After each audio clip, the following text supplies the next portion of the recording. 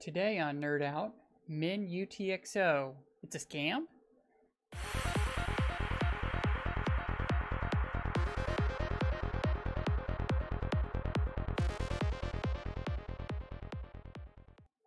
Welcome back to Nerd Out, the show where we take a look at Cardano and we break it down, but we don't dumb it down.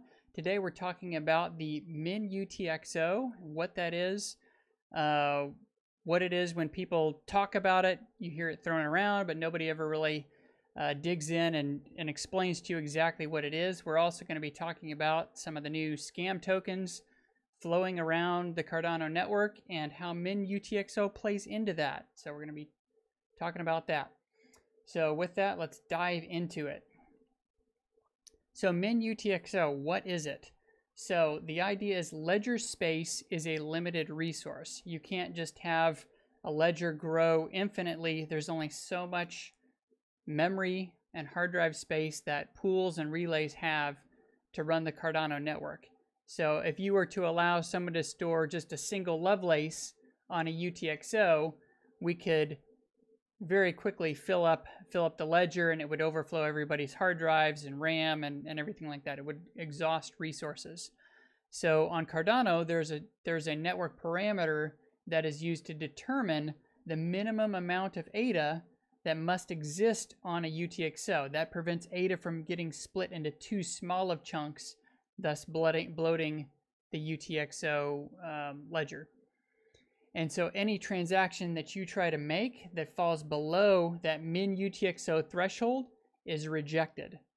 And that's why you can't just send around, you know, a tiny amount of ADA, half an ADA or something like that. It has to be at least so much. Now, in the early days of Cardano, min UTXO was hard coded to 1, so you couldn't send anything but 1 ADA. Now it's a calculation based on how much space you're using on the blockchain. And again, this protects the network from UTXO bloat. And the parameter we're talking about today is UTXO cost per byte. The last time this was updated uh, was in CIP 55. Uh, I'll try to have a link to that in the description below. This was a CIP from Jared Corduan, and um, it changed how the min UTXO was calculated. So this parameter is currently on mainnet set to 4,310 uh, Lovelace. So that is how many Lovelace it costs for every byte of UTXO data that you store. And every output must pay for its own space. It's like kind of a space renting type of thing. You can think of it like that. There's also an overhead constant that is set to 160. And this accounts for, you know, CBOR data structure stuff. So once we hit Babbage, the UTXO structure changed from an array to a map. We'll, call, we'll talk a little bit more about that later when we talk about the scam tokens. Um, but right now, the calculation for min UTXO is overhead constant plus the UTXO length in CBOR bytes. So after that UTXO is encoded to CBOR, how many bytes in length that is. And then we multiply that by the UTXO cost per byte. So let's take a look at this in practice. So if I'm sending some ADA to an address, and let's say it's an ADA only enterprise address, I'm only sending ADA to it. The minimum amount that I can send is um, 0.8 ADA, 0.85 ADA. Um, this is all in, in Lovelace here. And this, as you see, I've got a map. So zero is the address and one is the amount. Um, so if you're sending a Babbage type of transaction, which is this guy, um, this is the minimum amount that you can send to that address. It's no longer 1 ADA, it's, it's slightly less at 0.85. And if you're sending it to a staking address, so if the person has one of the, the longer addresses, this is what you'd normally see in your wallet. Again, that uses more space because it's a longer address. You're going to pay a little bit more ADA to send that. So the minimum amount of ADA you can send to this type of, of address is 0.97. And again, these numbers were set so that it would be very close to that 1 ADA so that any dApps or applications that had in the past hard-coded it to 1 ADA, they would still continue to work. We didn't want this number to come out above 1 ADA and break those, those apps. And so this one, the UTXO, is 67 bytes long. And now let's take a look at uh, a scam token I was sent recently. This is the NEWM scam token. And these scam tokens, what they do is they, they go into your wallet, they say, hey, come claim this free airdrop or something, go to this website. The website is a scam. They'll ask you to sign a transaction and they will drain everything out of your wallet. It's a really dumb scam. Don't fall for it. Um, we'll explain a little bit more about that later. But with a scam token, they're required to send you uh, 1.16 ADA. And you might say, but wait, Andrew, when I got sent these scam tokens, they only sent 1.159 ADA with it. So let's take a look at that. And what they're doing is they're actually creating a transaction from a previous era. The previous era, uh, where this structure was different, is like a Mary transaction. And in Mary, we had no concept of, you know, we didn't need anything other than uh, native assets. So we use the map today to store additional things on the UTXO, like inline datum values or datum hashes.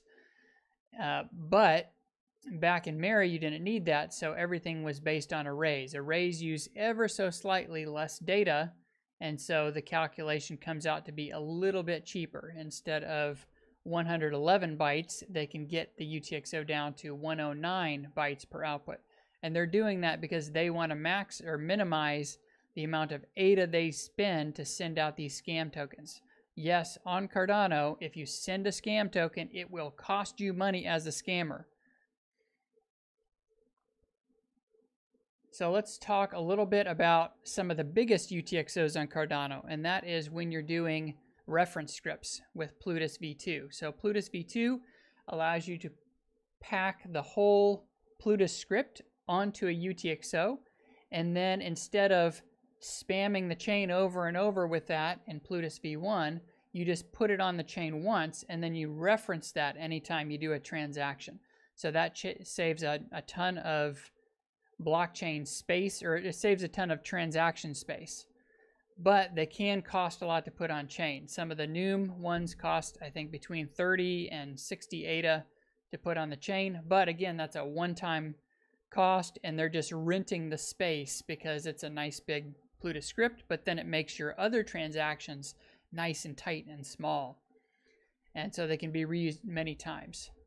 Now, in Plutus v1, they don't take up a lot of UTXO space because all they had was the datum hash on the UTXO, but they do take up a ton of block space because the actual script had to be stuck in the transaction every time it was run.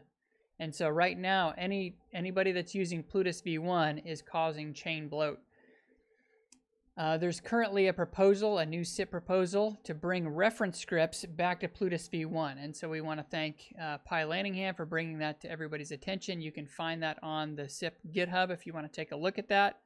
It isn't going to take a lot of work, and it will probably get in there for the Conway hard fork. So that's uh, a great thing. It doesn't bring down the ledger bloat space, but it does bring down the block space. So we're going to get a big bonus from that. So some final thoughts. Let's talk about these scams. Beware of scams. These tokens will just show up randomly in your wallet. Uh, look at your wallet. Always see what you are signing. Always. Um, I want to say always, always, always many times. So whenever you're in your wallet and you're asked to sign a transaction, there should be a summary screen that shows you the result of this transaction. That's the benefit of Cardano and UTXO blockchains is they're deterministic. You can always see what the result is going to be before you submit the transaction. So if you did happen to get to this website and they tricked you into thinking you're getting an airdrop when you're not, and you click on, you know, okay, yep, I'm ready to sign the transaction, you'll see a summary screen. If your wallet doesn't do this, find another wallet. You'll see a summary screen that will explain to you, oh, minus all of my ADA, minus all of my cool tokens. Um, don't sign that transaction. If you do want those scam tokens out of your wallet so you don't have to think about them, you can send them to the burn.it ADA handle. Um, otherwise, you can thank the scammer, let them sit in your wallet. They don't hurt anything. Tokens can't hurt you on Cardano because they're not smart contracts. Um, and thank the scammer for the extra staking rewards that they gave you because they had to send you ADA because of Menu MinUTXO. So these scams will stop when people stop falling for them.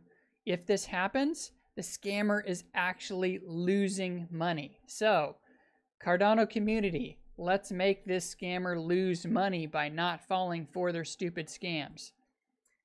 And all this to say, Cardano was built right from the beginning. They thought about these kind of things. They thought about space rent. Cardano was built right. And with that, nerd out.